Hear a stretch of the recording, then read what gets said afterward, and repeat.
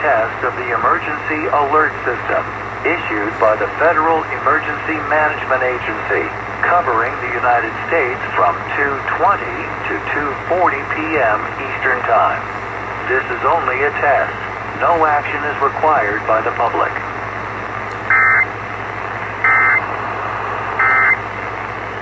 ATHOS. That was interesting, and this that the red line was for the fresh foot one that observed today. But there's the WEA test. But yeah.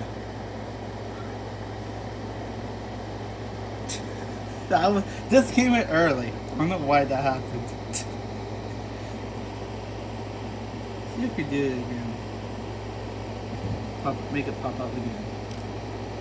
But it probably won't do it, but just the ARIA message there.